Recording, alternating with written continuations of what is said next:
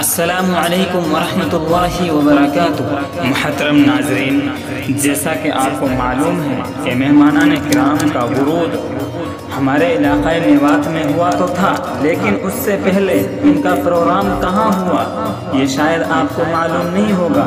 आइए हम आपको बताते हैं। पहला प्रोग्राम मेहमान कराम का कहाँ हुआ? सुनिए। पहले प्रोग्राम धोज में मुनद होने वाला था कि हम हज़रत मौलाना अरशद साहब और मुफ्ती मोहम्मद तारिफ सलीम नदवी के हमरा धोज पहुँच गए। धोज पहुँचते ही दस और बीस मिनट के अंदर अंदर हमने मशवरा किया कि हज़रत के इस्तकबाल के लिए जाना चाहिए। लिहाजा हज़रत मुफ्ती साहब मदरसा में ही ठहरे और हम मौलाना अरशद साहब के साथ उधर रुख कर लिए। वहाँ जाकर हज़रत का इस्तकबाल किया गया। और हज़रत को मदरसा अशरफुलूम धोज में लाया गया। अल्हम्दुलिल्लाह, बड़ा अच्छा महसूस हो रहा था। हज़रत की गाड़ी कभी आगे, कभी हम पीछे, कभी हम रहबरी के तौर पर गाड़ी आगे कर लेते। यूँ ये सफ़र मदरसा धोज तक बहुत ही अच्छा रहा। वहाँ जाने के बाद हज़रत का इस्तकबाल किया गया। इस्तकबाल के बाद हज़रत नाश्ते वगैरह के लिए अंदर बुला लिए गए और हम मस्जिद में प्रोग्राम की झलकियाँ आपको बराबर दिखाते रहे थोड़ी ही देर के बाद असर की नमाज़ का वक्त हुआ जा रहा था। लिहाजा असर की नमाज़ अदा करने के बाद, असर की नमाज़ के लिए हज़रत मुफ्ती साहब ने बंदा नाचिस को आगे बढ़ा दिया। तो नमाज़ बहरहाल अदा की गई। उसके बाद माइक संभालते हुए हज़रत मुफ्ती तारिफ सलीम ने बाकायदा प्रोग्राम का आगाज़ कर दिया।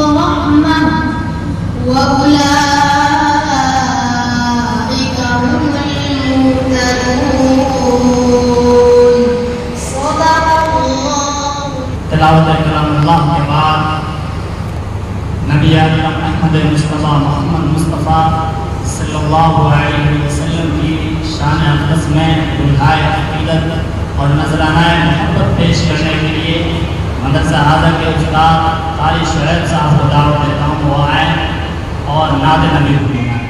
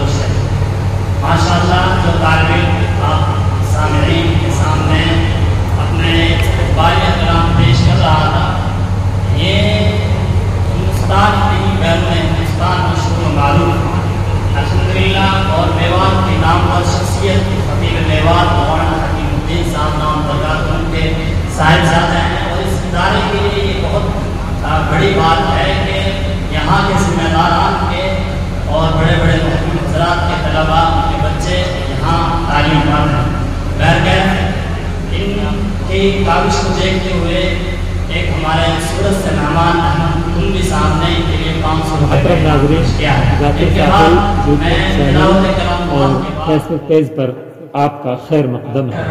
और हवा कौम और मिलत के अफराज साजी की फ़िक्र रहती है।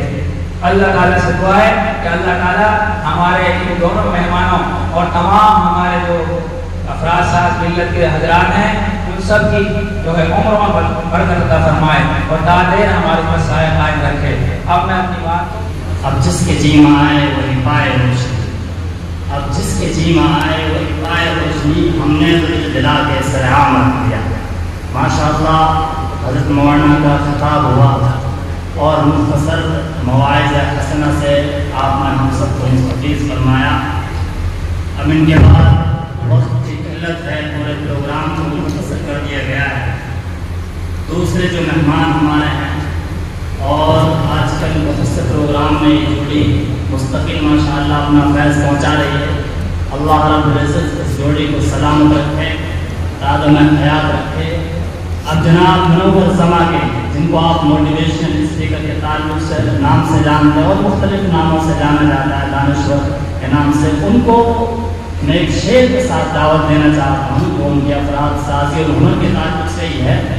मैं रेजा रेजा हूँ अपने वजूद के अंदर। मैं रेजा रेजा हूँ अपने वजूद के अंदर, वो हर हर चुनेगा, किताब कर देगा। मैं रेजा रेजा हूँ अपने वजूद के अंदर, वो हर हर चुनेगा, मुझे किताब कर देगा। मुझे यकीन है एक रोज मेरा चारा मुझे यकीन है एक रोज मेरा चारा उदास रूह को ताज़ा गुलाब कर देगा मनोवर समा साहब अब मिसाल, मैं मेरी खुद लूँ। तो जब मेरी उम्र अट्ठाईस साल की थी, मुझे अंग्रेज़ी का डू और डस का फ़र्क नहीं पता था कि डू कहाँ यूज़ होता है डस कहाँ यूज़ होता है। आज तो सेवन स्टैंडर्ड के बच्चों को भी पता है। लेकिन वहाँ मैंने इरादा किया कि मुझे अंग्रेज़ी सीखना चाहिए। और सीखने में भी कितना अरसा लगा? साढ़े तीन साल, यानी इकतीस, बत्तीस साल हो गए। और पढ़ाने का जज्बा पैदा हुआ मुझमें। चार साल मेहनत करके सीखा, कोई दूसरी जॉब मिल गई मुझे। और वो जॉब फार्मासिस्ट की थी। मैंने सोचा चार साल मैंने मशक्कत के साथ अंग्रेज़ी को सीखा और मैं फार्मेसी लाइन में चला जाऊँ तो फिर मैंने जो मेहनत से सीखा, उस इल्म का क्या? मैंने वो गवर्नमेंट जॉब छोड़ दी। और पढ़ाने का इरादा किया स्कूल्स में जाने लगा तो स्कूल्स के दरवाजे मेरे लिए बंद होते थे। कि नहीं नहीं, आपके पास सर्टिफिकेट नहीं है। आपने बीएड नहीं किया है। आपको हम परमिशन नहीं देंगे। तब भी मैंने हिम्मत नहीं आ रही। गाँव में स्लम्स में जाकर मैं पढ़ाया करता था। आप लोग किताबों से दोस्ती कर लें। आज मैं बात कर रहा हूँ कितने बंदे मोबाइल से मेरा इस वीडियो को ले रहे हैं।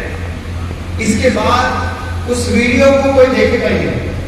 मोहतरम जनाब मनोवर जमा के बाद मैं मदरसा राजा के उस्ताद मौलाना मोहसिन कासमी को दावत देता हूँ वहाँ और मुख्तसर वक्त में मदरसे का तारुफ पेश। मदरसा इस्लामी जिला फरीदाबाद हरियाणा की संग बुनियाद बमुताबिक दो जमात उस्तानी चौदह सौ हिंदी बरोज मंगल जमात मरकज निजामुद्दीन हज़रत जी मौलाना मोहम्मद मसलत घटा दिल पे छाने लगी उन मसलत घटा लगी इस चमन को फरिश्ते भी तकने लगे हर कली बूटे अम्बर लुटाने लगी